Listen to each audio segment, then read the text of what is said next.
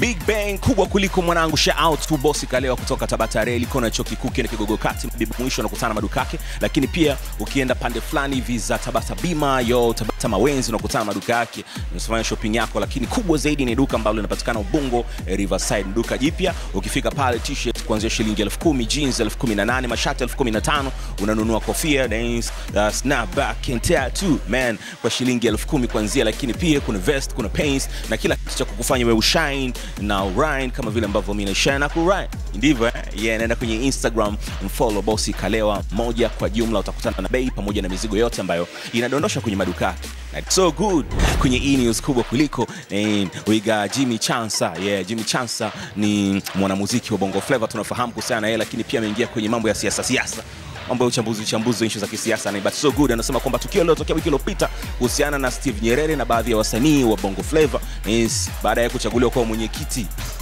Uh, kuchaguliwa kuwa msemaji uh, wa shirikisho la uh, Bongo Flava na nini yes, anasema kwamba ni kitu kizuri yani kuna vitu vingi sana ambavyo vimetokea pale vya kujifunza anazungumza kupitia e news kubwa kuliko Kwa upande wangu mimi unanivuruga, nashindwa kujua Jimmy tubaki naye kwenye mziki au Jimmy tubaki naye kwenye uchambuzi wa masuala ya kisiasa. Navurugika akili yangu. Ah, mimi naitwa Polymath. Polymath ni mtu ambaye anatamani kujua vitu vingi. Kwa siasa nipo, kwenye mambo ya afya nipo, kwenye mambo ya mziki nipo, as long as nachokisema au nachokifanya ni kitu sahihi. Kwa mimi na- na- najipenda kujiita Polymath. Polymath ni eh, neno la Kiingereza ambalo linajumuisha mtu anapenda kujua vitu vingi vingi. Ukiwa kama Polymath, nikikumbuka kuna kipindi ilivyotokea vita ya Urusi na Ukraine, uliingilia kati pale, ulizungumzia, uliamua kuwadadafulia wananchi sababu ni nini, vitu vilivyosababisha. Nikasema kwenye mziki pia ambako tuko huku nako kuna vita nyingi za kimziki. Kwa upande wako, ukizionaga zile vita za kimziki, waga unazionaje? Unazichukuliaje na unazipa nafasi ipi Za kiushindani wa mziki au yanayoendelea sasa hivi, kwa sababu kuna mambo mengi Tanzania. yanayoendelea sasa hivi na ya kimziki ya, ya wanadamu? Maana mambo ya wanadamu siku hizi yameingia mpaka kwenye mziki. Ah, ah, kwanza ushindani wa kimziki ni kitu kizuri kwa sababu mziki umekuwa biashara kubwa sana. Ah, kwa hiyo ule ushindano wa kimziki huu ukafanya hili huyu ukafanya hili ukamvutia huku ni kitu kizuri as long kwa sababu wazungu wanasema show, any showbiz is showbiz, iwe ni mbaya au, au, ni nzuri. Uh, kwa haya yanayoendelea sasa hivi ya mambo ya matamasha, msemaji na kila kitu, I think uh, sisi wasanii wenyewe hatujawai kuwa na mwamko kuwa active kwenye vyama vyetu au kwenye mashirikisho yetu kwa hii kidogo imeleta mwamko kwamba kuna kitu fulani kuna position fulani ambazo abc akifanya au akiwa mtu fulani ni sahihi zaidi. Kwa hiyo i think tunaenda kwenye uh, kwenye direction sa salama. Uh, tuko, tuko, tuko, tuko vizuri kwa sababu watu wameanza kuwa na mwamko. Nyi wote ni mashahidi mmeona watu walivyopinga huyu asifanye hivi huyu asiwe hapa tufanye hivi tupatane hivi. Kwa hiyo ni kitu kizuri kwa upande Unahisi kwa namna moja ama nyingine kilichotokea hapa nyuma kinaweza ikawa kimesababisha sasa hivi kuwe kuna muungano wa pamoja, wasanii wawe jambo lao ni moja, isipokuwa kwa upande mmoja ama nyingine imeugawa mziki, kwa sababu kilichotokea pale ilikuwa inaonekana kila watu inabidi wawe na jambo lao, watu wa taarabu wawe na mtu wao, watu wa bongo movie wawe na mtu wao, na wasanii wa, wa music pia wawe na mtu wao.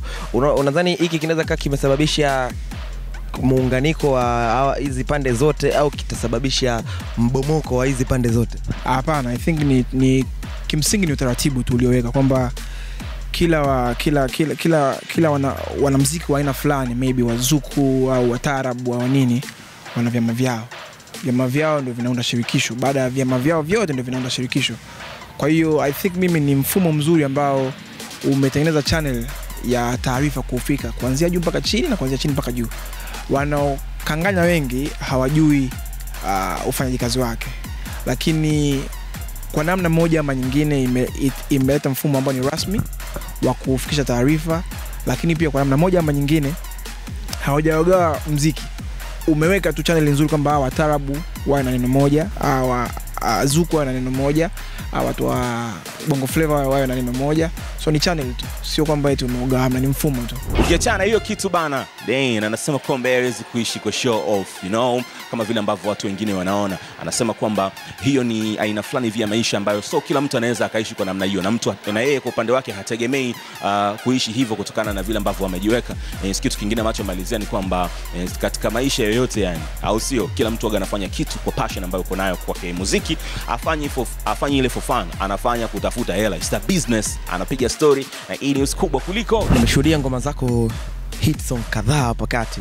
Umefanya ngoma na Jux ilibasti umekuja upya ukafanya ngoma na Young Lunya ikabasti nataka nijue kwa upande wako wewe muziki unaupa thamani gani kwenye maisha yako? Kwa sababu unatamani kuvijua vitu vingi. Sasa muziki una nafasi gani kwenye maisha yako? Kama umeweza kupenetrate kupata featuring hizi imekuwa ni jambo ambalo easy sana kwako.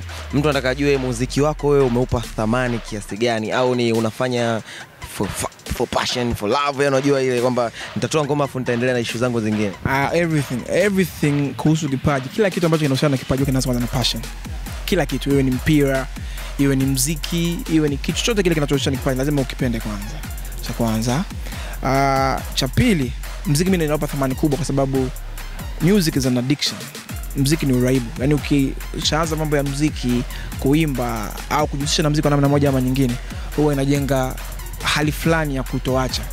Kwa mimi mziki naupa thamani kubwa sana. Watu wengi najua ile wanasema anafanyia mziki uh, stare nini nini wanasemaga for fun? Um, there, there, there's nothing like fun kwenye investment. Kwa sababu mziki unahitaji fedha kuna tuna shot videos tunatengeneza audios and everything. So sio passion. Ni kazi ambayo tunafanya kazi kwa ubora mwisho wa siku inakuwa biashara lakini of course inaanza kama passion. Kwa hiyo ni kitu ambacho kina thamani kubwa sana kubwa mno. Siwezi nikasema ni kiasi gani lakini ni kubwa sana. Tunaingiza hela fedha nyingi au inawezekana hatujihusishi zaidi kwenye stori za mimi Jimmy Chansa natoka na Irene Uwoya natoka na Jackin Wolper au na Official ndio maana inafanya watu wanashindwa kujua kama upo serious kwenye mziki kwa sababu ukitoa wee shughuli yako ni moja ukija mjini umetoa ngoma umemaliza. Hauna zile kiki kiki kiki uto- u- anasema ile ndio inafanya mziki unakuwa mzuri sasa. Uh, showbiz kama nimesema hapo nyuma showbiz ni nzuri kwa biashara ya burudani. Showbiz ulaya wapi akina Kanye West kuna muda watoe nyimbo lakini wanaongelea kwa sababu ya mfumo wa maisha waliochagua. Lakini sio kila mtu anaweza kufanya showbiz. Saa kuna watu kana, kama kama akina J. Cole hatuwaoni wanafanya showbiz. Kuna watu kama The Weeknd hawafanyi showbiz. Eh? Kuna watu wengine akina huyu uh, huyu dada mpya huyo kwenye hip hop aliyekuja baada ya Nicki Minaj. Nani huyu? Cardi B. Anafanya showbiz na ndio biashara yake lakini so showbiz ni nzuri lakini sio kila mtu anaweza kuzifanya showbiz. Na not everybody was built for number one or number two number three number four number five. Kila mtu ana sehemu yake kwenye mziki mziki ni kama kijiji. Kila mtu ana sehemu yake na kila mtu ana, uwe, ana uwezo wake. Kwa hiyo na kila mtu ana jinsi anafanya biashara yake. Kila mtu anakaa kwenye, kwenye, kwenye, kwenye, kwenye sehemu yake. So mi siamini katika hilo swala. Kuna wanaoamini na wanafanikiwa kwenye hilo swala.